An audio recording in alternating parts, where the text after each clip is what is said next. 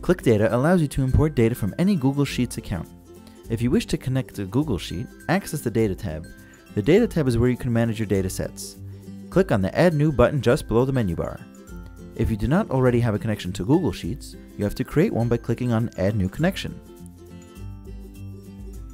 Then select Google Sheets and set up a name and a description for the connection. If it is the first time you are connecting to Google Sheets, you have to provide ClicData with access to your account. Do so, click on Authorize. Just make sure the browser allows pop-ups. If everything goes well, the green Authorize message will appear. Click on Add Connection and you will be able to navigate through your folders. Select the file and click Next. Then select the sheet you want to import and click Next.